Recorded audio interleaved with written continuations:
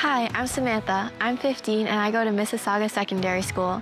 I'm in the high performance program, which means I do my schoolwork in half the time, so I can spend my afternoons here doing gymnastics. These are my two sisters, Sarah and Shauna, and these are my parents, Victor and Kitty. Of course, they're my family, but my gymnastics crew is also family. Apart from gymnastics, I also have a black belt in karate, and I play the flute in the Mississauga Symphony Youth Orchestra. Before the pandemic, I was volunteering in the special needs program at my school. However, during the pandemic, me and my friends noticed a lot of setbacks due to online learning. I wanted to find another way to help, so I started Music for Every Child. I can't do it all on my own. I have lots of help. Hi, my name is Natalie, and I'm the founding executive director of Music for Every Child.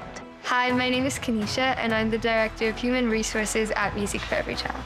It's so beneficial to our students, particularly our exceptional students.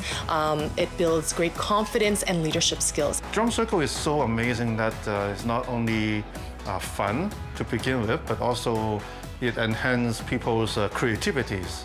You know, it lights them up, and so seeing that is really uh, a testament of what Drum Circle does. It makes me tap my feet. I love it so much.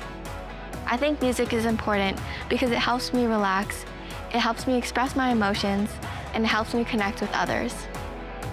Music can help us communicate and understand each other more effectively. We started in one school and now we're in 12 across Ontario. It's amazing what we can accomplish when we work together and support each other.